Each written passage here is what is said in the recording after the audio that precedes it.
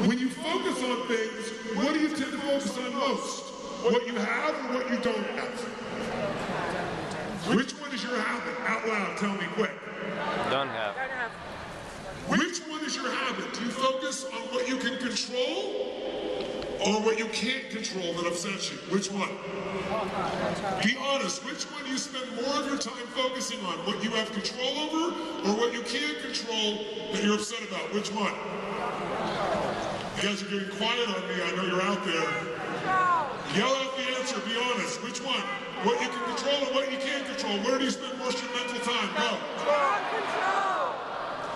And whatever you said, the answer that matters is the honest one.